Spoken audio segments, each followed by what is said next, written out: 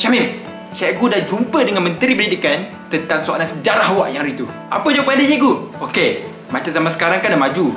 Teknologi pun macam-macam dah ada.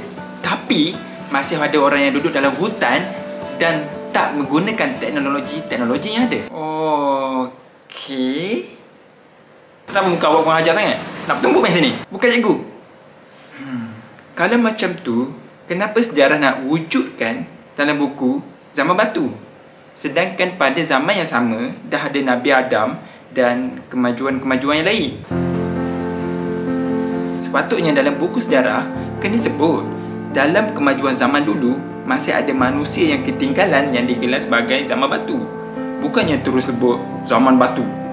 Dah macam tak ada kemajuan langsung zaman tu. Saya jumpa Menteri Pendidikan balik.